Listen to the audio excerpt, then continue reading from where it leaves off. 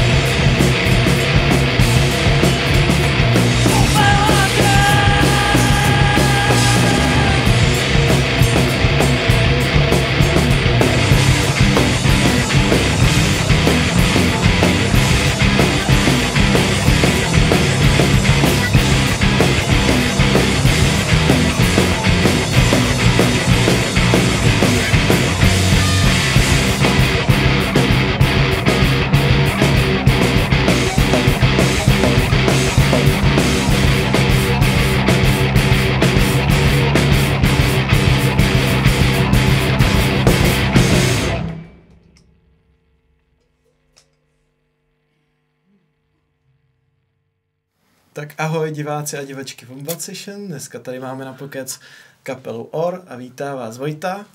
A Vojta. No tak kapela, jak se vám hrálo? Jako dobře. To Pohodě. Dobrý, no. Tak je to po dlouhé době, co jsme hráli někde jako mimo zkušebnu, takže bylo takový žonglování chvíli, ale dobrý.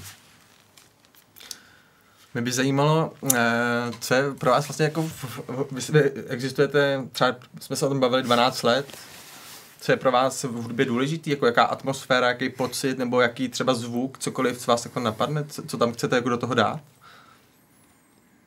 Já nevím, jestli, jestli nad tím takhle jako přemýšlíme, no. To je hr, hrozně... No mě, mě napadá akorát, jako pro mě je důležité jenom, aby to hrálo dobře dohromady, aby to prostě mělo, aby si to sedlo, no. A to je jako hrozně obecný.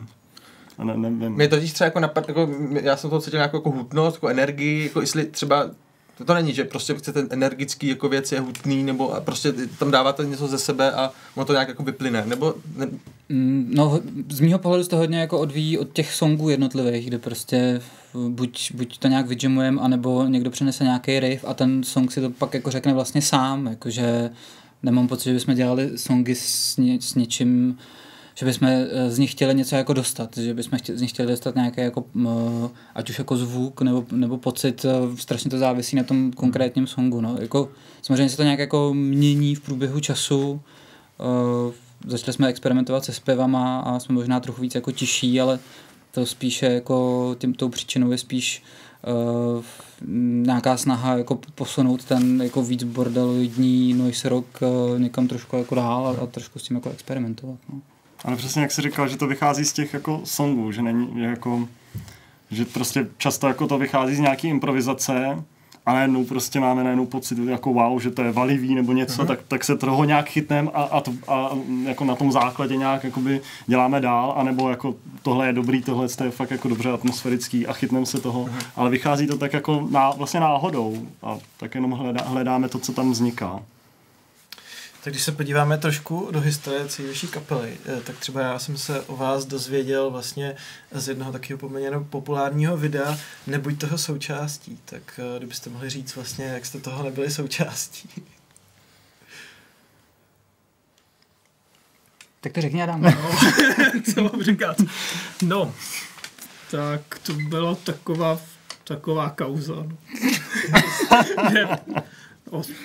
Nějaký lidi zastupovaný osou, že brali o prachy, tak se dělala nějaká parodie. My jsme, my jsme to úplně ne, neorganizovali, ale nach, nachomejtli jsme se k tomu. Tak jsme tam něco řekli, no. A fakt jsi se rozbil kytaru? Rozbil jsem si kytaru. Tak to je smutná historie. No to No, bylo, no, jako nejsmutnější na tom je, že to je pravda. Že? to, to vymyslel jako uh, Aran Epochal, to, celý tohle video, uh, protože OSA vlastně mm, permanentně prudí Silver Racket, což je label, který, který nám vydává desky a uh, vlastně vybírají peníze jako na koncertech, který vlastně s tím hudebním biznesem nemají vůbec nic společného. No, já jsem si teď třeba zrovna čet rozhovor uh, s Chaos Promotions uh, v časopise Telepatie, který, který vlastně taky o tom mluvějí.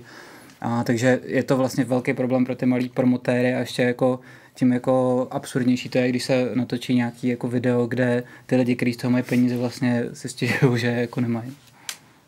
Jasně. No a potom eh, ještě mě napadá třeba taky právě eh, takový historický, když jste vydávali to předchozí album, tak vlastně jsem vás četl nějaký článek, kde vlastně eh, bylo napsaný, že OR jako jedni z mála dokážou vlastně eh, relevantně posunovat ten eh, studentský punk eh, jako i po Gimplu. Tak jak se k tomu stavíte dneska, ještě v tom dalším albu?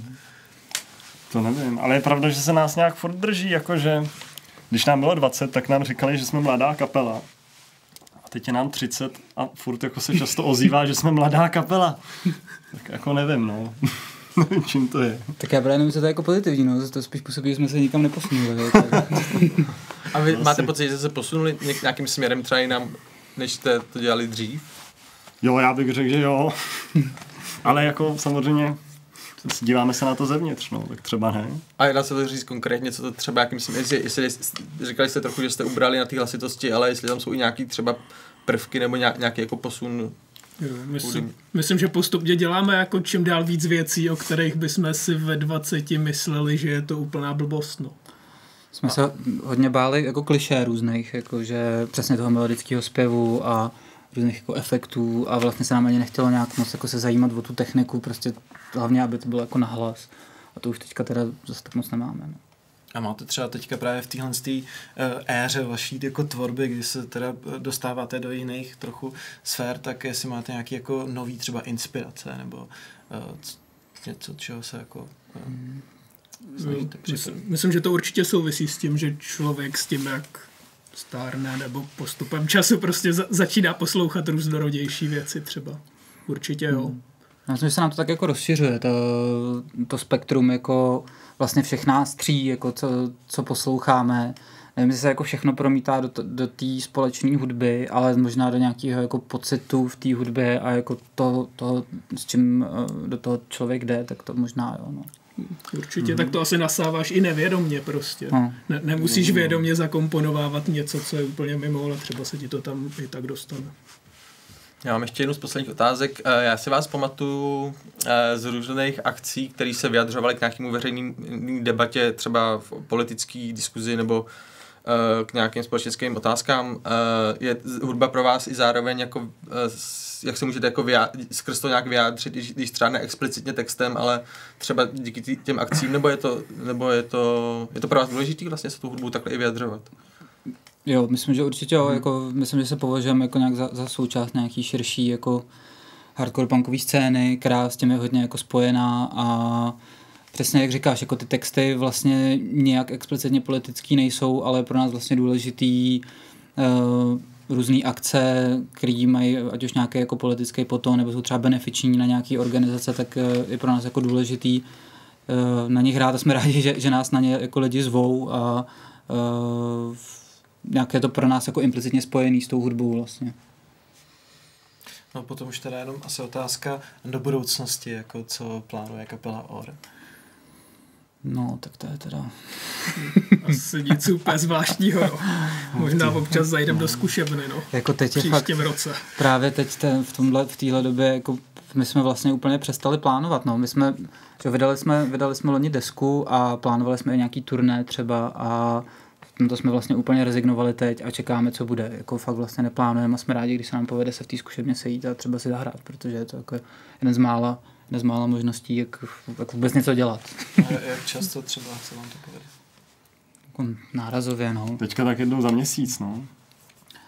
Teď než jsme šli k vám, tak jsme měli dvě zkoušky a to je na nás jako výkon teda. Tak mi děkujem. Děkujeme. Máte A- možná ještě nějaké pos, jako poselství pro naše diváky, co byste chtěli sdělit ze, srdí, ze srdíčka?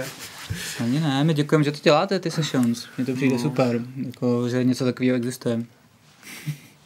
Tak mi děkujeme, že jste zahráli a uvidíme se na příští Wombat Sessions. Díky. Čau. Díky. Super.